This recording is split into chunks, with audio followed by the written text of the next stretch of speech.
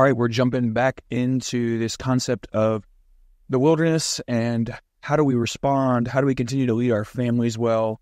How do we continue to disciple our kids when we're in these seasons that feel sticky, like fog, like we're just kind of in a cloud? One of the thoughts that I wanted to to lobby your way as we begin to talk about wilderness is is this as I've really meditated.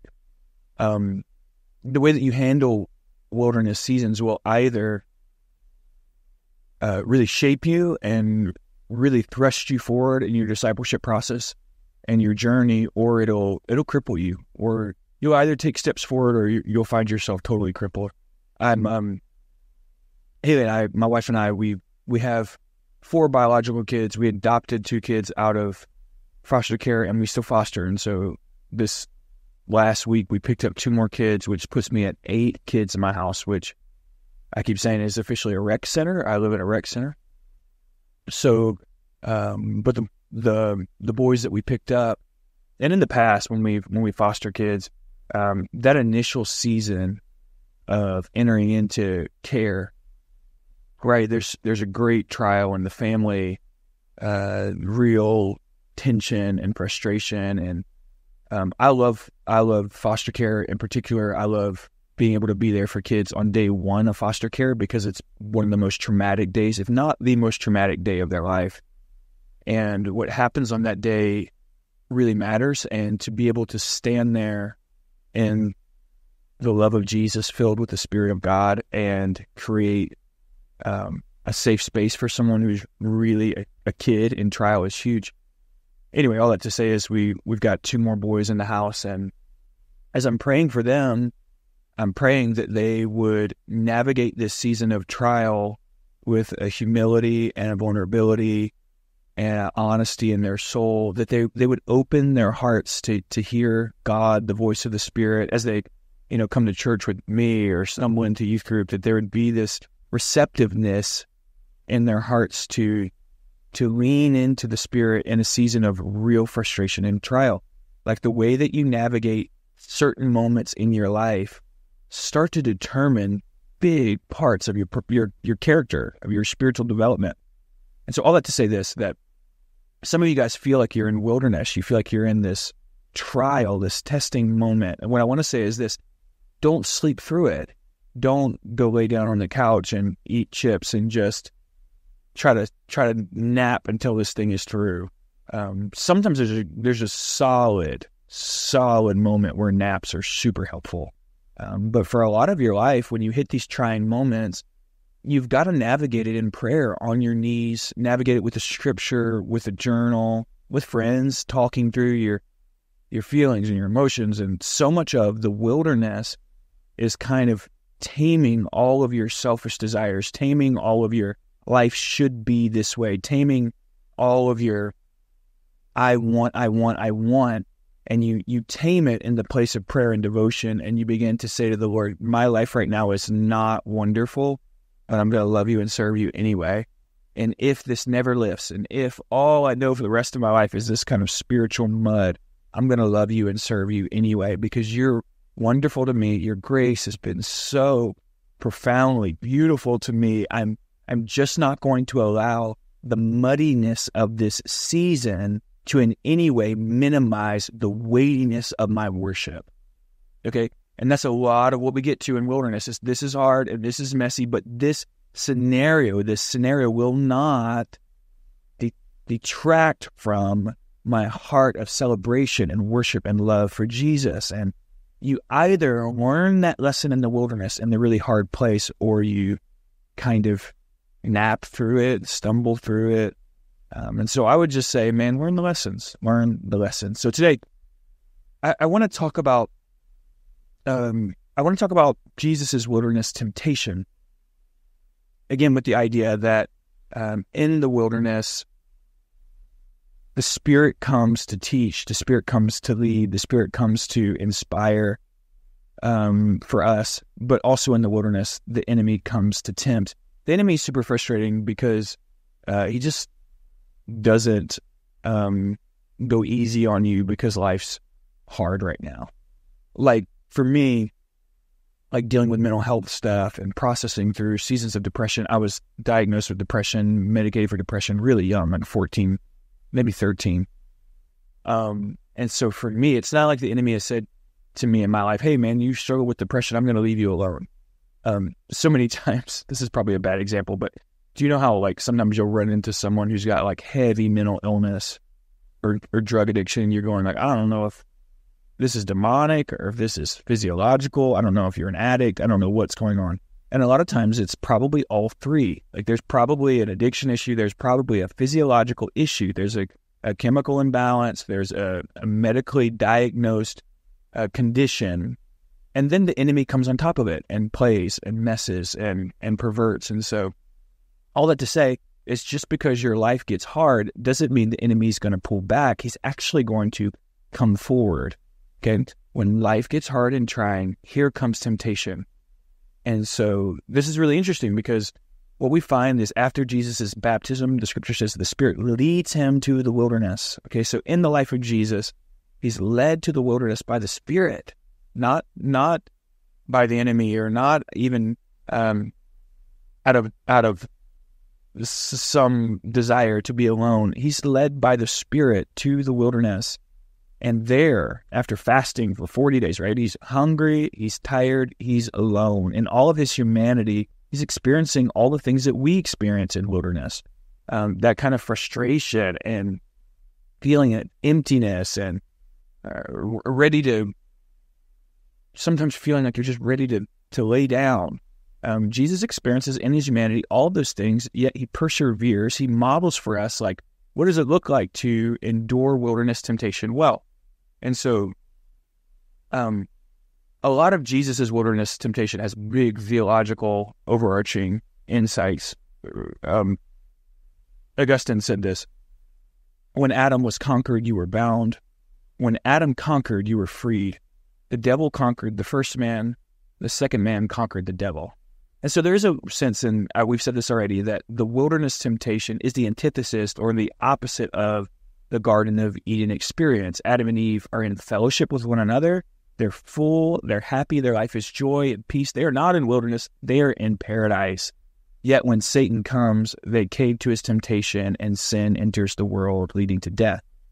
Now, Jesus conquers Satan in the exact opposite scenario. He's alone, he's hungry, he's tired, and Satan comes and Jesus conquers. And there are big theological implications to this idea of Jesus conquering in the wilderness. And so, on one hand, we want to say Jesus' wilderness temptation is unique. He is God.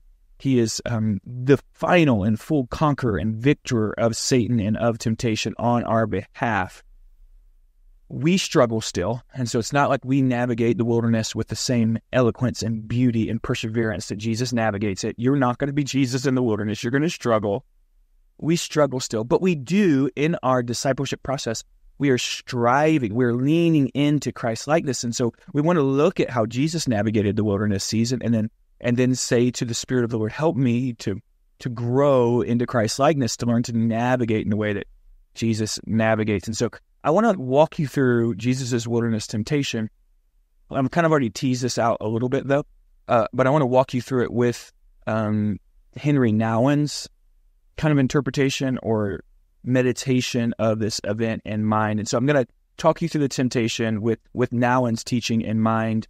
Uh, some of his teaching is a little unique here. I'm not sharing as if it's absolutely law and the perfect way to interpret, but it's really helped me. And so I pray through these ideas from Nouwen often, but especially when I'm struggling. Um, and let me say this before we start. Martyn Lloyd-Jones said this. He said, Temptation in and of itself is not sinful. It is yielding to temptation that is sin. The devil will suggest things to us, but that is not our fault unless we take hold of those suggestions and welcome it. He says in another place, the primary battle takes place in the mind. Therefore, our defense against temptation must begin with controlling our thoughts and aligning our lives with God's truth. Okay, with that in mind, even looking at Jesus' wilderness temptation, the enemy comes to suggest things, right? He comes to suggest and to um, kind of lay before us thought patterns that are not in line with God's spirit. And that's one of the reasons Jared talks about this one of the reasons we really have to gospel ourselves, we have to keep reminding ourselves of the gospel. The the first thing that the enemy comes and says to Jesus, you remember he says, if you are God's son. And so right right away you recognize that the temptation in the life of Christ has to do with his identity. And so at the baptism, the the spirit descends like a dove, the Father speaks audibly, This is my beloved son with whom I'm well pleased. The spirit drives him in the wilderness, and then the enemy says, If you are God's son. And so we have this experience of salvation where we are adopted, grafted into God's family, and it's as if God shouts over our spirit, You're my beloved. And then in the wilderness, the enemy comes and says, Let's talk about your identity. Are you who you say you are? And so the, the enemy comes and says, If you are God's son, turn these stones into bread. Now, he's hungry, obviously, he's fasting. Um, the way that Nouwen interprets this temptation is unique.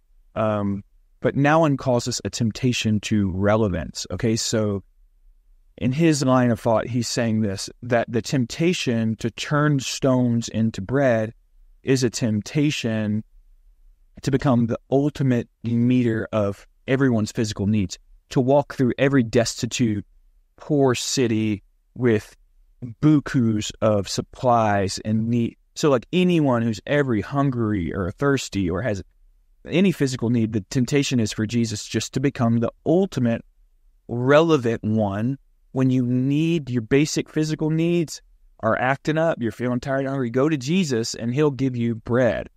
Um, that line of thought is a little bit unique.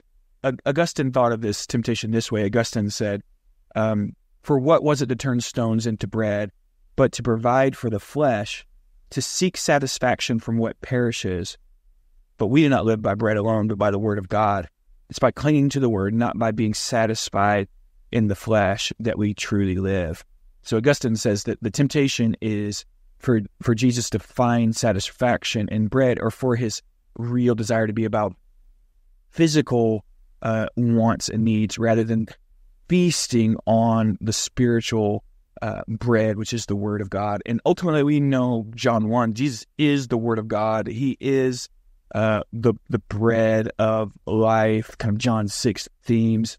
Um, and so the temptation of relevance, going back to Nouwen's idea, is that Jesus would walk through the cities, passing out bread, passing out money, passing out, you know, whatever people need, and become the ultimate fulfiller of physical needs when in reality, the call of Christ and who Jesus is, is the bread of life, the provider of spiritual life. And it's not like he's coming to just fix the problem that we have world hunger. He's coming to fix a much deeper, uh, a, a greater epidemic of we have we have a spiritual hunger for the bread of life and he's he's going to provide that for us on the cross of Christ. And so the temptation is skip all of that, Jesus, skip becoming the bread of life, the manifest word, being the manifest word of God for the nations. Skip all of that, and people will love you if you just pass out a lot of bread.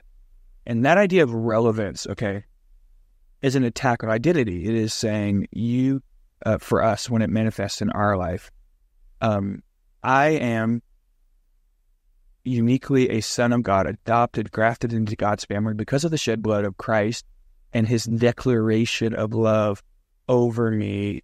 But when I'm at my worst, I start to need to prove to other people that I'm valuable. Because if I prove to other people that I'm valuable, then I'll hear them say, You're valuable. And now I'm looking for affirmation from the response of the crowds and not from the scriptures and the word of God and not from the spirit of the Lord. And that leads me to this idea of relevance, or for me, it manifests in people pleasing. When I'm in the wilderness and tired and struggling, I feel like I've got to please everybody. I've got to become all things to all people so that they'll tell me how valuable I am. I become all things to all people so they'll tell me how valuable I am. And then I'm then I'm just kind of my whole life becomes managing their frustrations and trying to make sure that they stay in in a safe place so that they still love me because I need them to love me so that I can feel worthy of something. And that's an attack on identity. And so I would just say right off the cuff, I pray this daily. Maybe I miss it every now and then, but uh, when I pray, um, I put some of this on on social media. If you want to reach out to me, I can I can point you towards this. When I pray through my patterns every day, my devotional patterns, one of the things I do is I pray for my family that we would wear the full armor of God. And the idea of the armor of God is that we would we would kind of with the shield of faith extinguish it, all the fiery darts of the enemy. The idea is that, that we don't wrestle with flesh and blood, but we're wrestling with principalities and powers. The enemy is coming after us. We put on the armor of God and we resist him. And then I stumble right into praying through these things that Nouwen uh, developed out of Jesus' wilderness temptation. So right away I pray, Lord, I resist the temptation to be relevant, to be all things to all people, to need my approval uh, to come from the voice of the crowds. I resist that temptation and I settle down into my identity that I am loved because you say so. And I don't have to be all things to all people. I don't have to run around everyone trying to fix everyone else's problems, try to make them like me. I can just be me. And so the wilderness comes and you start to kind of shake who am I? Am I valuable? Does my life have meaning? Does anyone care? And the first thing that happens is if you stumble too far, you'll start trying to impress and not just impress, but meet the needs of everyone so that so that they need you, so that you feel needed. And when I feel needed, then I'm valuable. And man, that sucks. So right away, I am a son of God. I don't point people. I don't constantly bring natural bread to satisfy everyone's needs. I point them to the bread of life, which is Jesus Christ, as I proclaim the gospel and live my life before before people in a way that honors God. This is the temptation of relevance.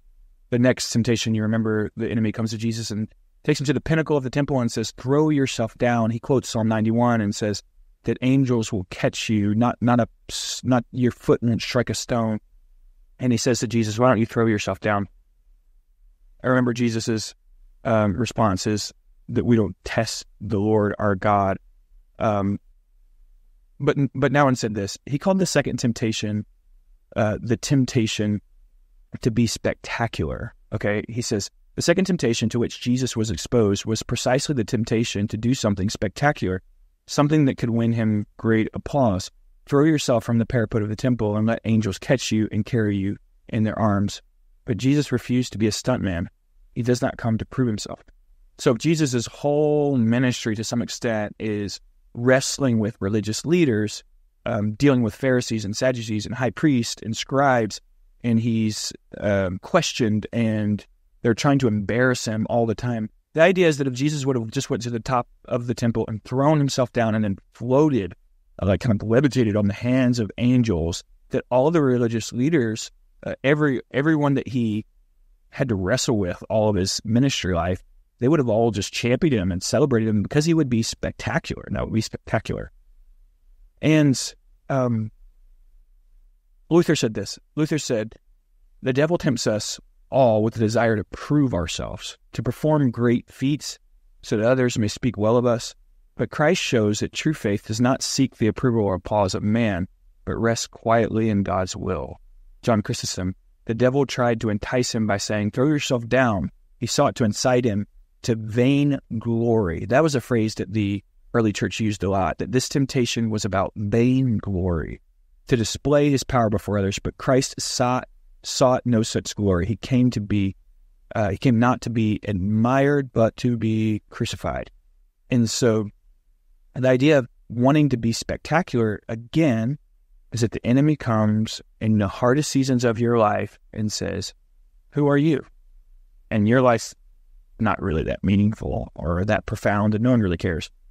And you start to feel your soul want to rise up and be, say, prove yourself. Like I, I am not just like everyone. I'm, I can grind my way. I can discipline my way. I can develop my gifts, hone my skills, earn the money, get the following.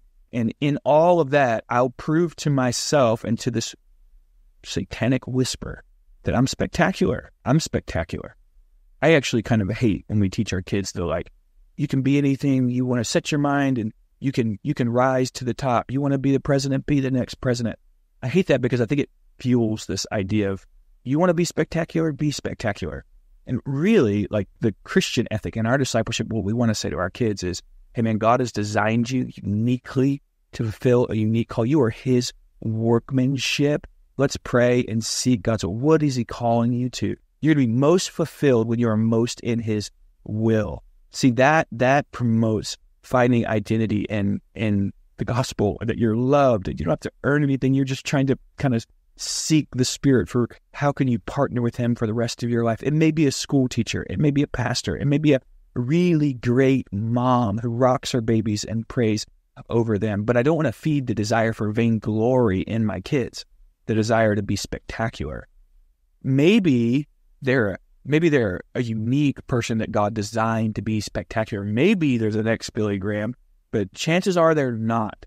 And chances are, if I put them on the road to try to be the next Billy Graham, the next president, when God designed or crafted them to be a really great school teacher who disciples and prays for kids, and putting them on a path of pursuing vainglory, and they're going to burn out, spin out, wind up frustrated and exhausted. And that is actually a, a strategy of hell.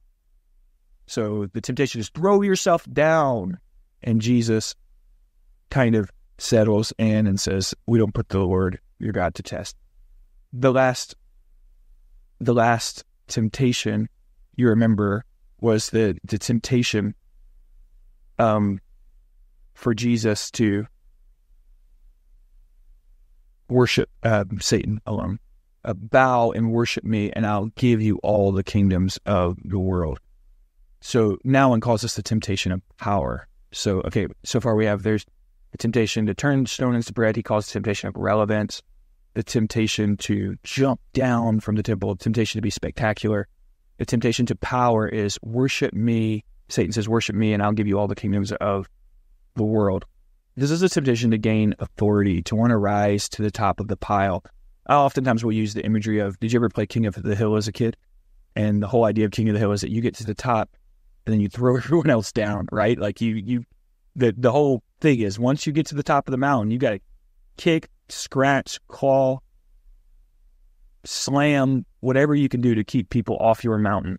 Um, and that's the temptation of power. I'm going to get to the top and then I'm going to do everything I can to belittle, to press, to, to keep people below me so that I can have authority. And the temptation of power, again, is about identity. It's about feeling some way about yourself, needing to feel like you can lay your head down on the pillow and go, I matter. And the gospel says, you matter because of the blood of Jesus, because of the adoption that we receive. You matter because you belong to a spiritual community, that ecclesia. We share real koinonia, real fellowship with one another. We matter because we're ambassadors for Christ. You don't matter because you're the CEO of the uh, Fortune 500 company. Maybe God's called you to that, and if He has, honor it and live well and and disciple and use it for God's glory. But if He hasn't called you to that, you don't have to do that to be meaningful, right? You can be totally fulfilled and live a totally meaningful life as you simply put your hands to the plow of the gospel every day. You rock your babies and sing, Jesus loves me, this I know. Make sure those kids know that stinking song. And, and you take them to church every week. You show up at work. You work hard with work ethic, showing your coworkers that you work unto Christ. And when they ask you questions about who you are and what you're up to, you just say, Jesus' blood transformed me. The Spirit of God meets with me every day. You can live a profoundly meaningful life without ever having to climb to the top of a ladder and kick everyone else down. And so Jesus says, nah, man, I mean, you worship God alone. And he kind of conquers that temptation of power. So again, this is what I pray daily. I really do pray every day. Maybe I miss once a month this prayer, but I pray through Ephesians 6, the armor of God, helmet of salvation, the breastplate of righteousness, the sword of the Spirit, the shield of faith, the belt of truth, the shoes of readiness, granted by the gospel of peace, that I'd resist the enemy, my family would resist the enemy, the enemy, his temptations. And then I work through Nouwen's ideas because they've really helped me over the years. Lord, help me to resist the temptation of of relevance. I don't have to be all things to all people. I don't need people to approve of me. I don't have to run around trying to meet everybody's needs and fix all of their problems to feel valuable. Um, I'm just going to walk with the Spirit today. I'm going to do what He asked me to do, nothing more, nothing less. Not walking ahead or behind, walking with the Spirit. Two, Lord, would you help me to resist the temptation to be spectacular? In my context as a local pastor, the temptation is to be the best pastor there ever was, the best preacher there ever was, try to grow the church so that everyone knows how great I am. I just pray every morning, Lord, crucify that. I don't need to be spectacular. I need to put my hands to the plow and do exactly what God has called me to do. I don't need to be spectacular so that other people praise me. I have the the the affirmation of God that I'm his beloved. Three, I don't need power, Lord. Don't help me to crucify the desire for power. When the enemy comes and says, if you would do A, B, C, or D, then you could really be a person with authority, with power. Lord, would you help me to crucify that? Crucify temptation to relevance, spectacular to be spectacular, and power as I pray Ephesians 6 every day. Now, here's my hot take, okay? This is a theological hot take. You can hate it. I'm not going to die on this mountain, but I actually believe this. I think this is, you can prove this textually, exegetically.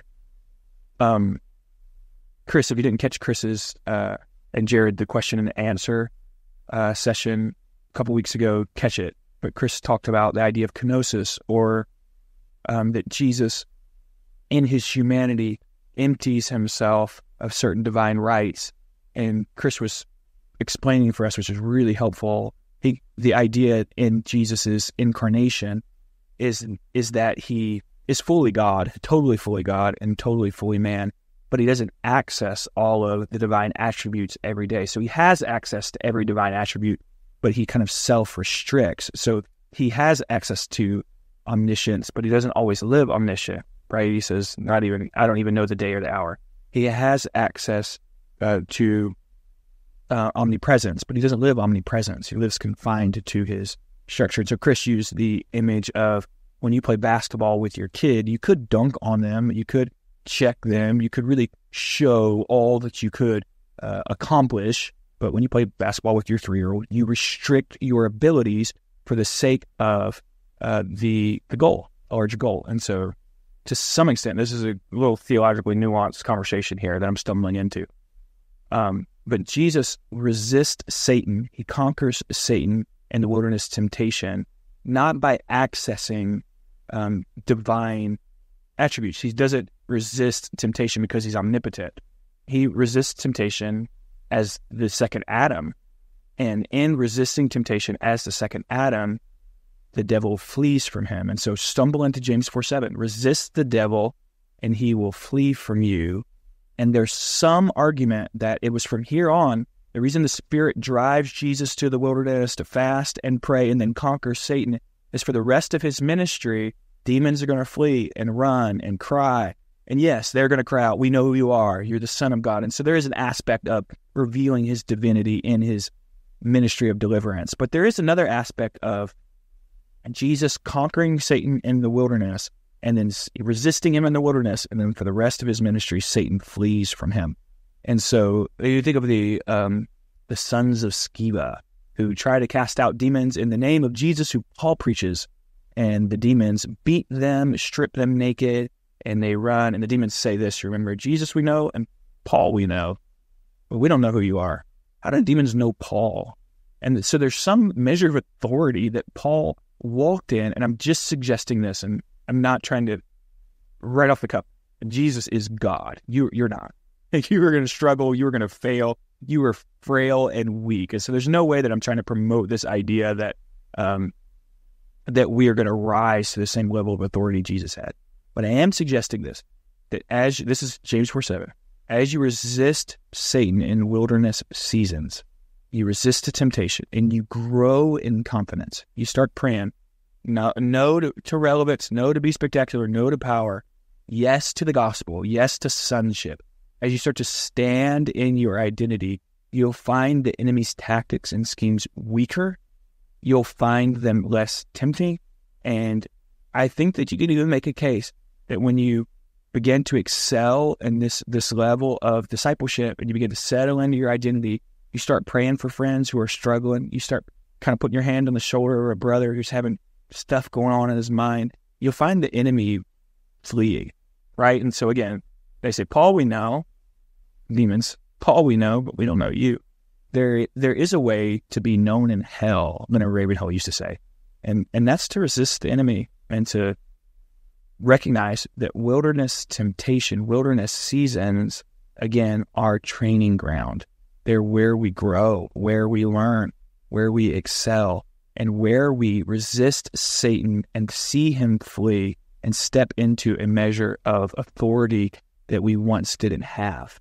And so this matters, man. Buckle up. You're in a hard season. You're wrestling. You don't know how to keep being a great dad while you feel frustrated and tired. How do I disciple when I'm frustrated and tired? Let the enemy purge you. He's going to purge to the surface all the little frustrations, all the little angsty uh, mindsets. And what you do when they get to the surface is you sift them out, you throw them away, and you say, My life belongs to God. I'm purchased by the blood of Jesus. Not proving anything, not trying to earn anything. I am who I am. I'm designed for a task. I'm going to fulfill it as I walk with the Spirit of the Lord. You allow the Spirit to sift out all of those things.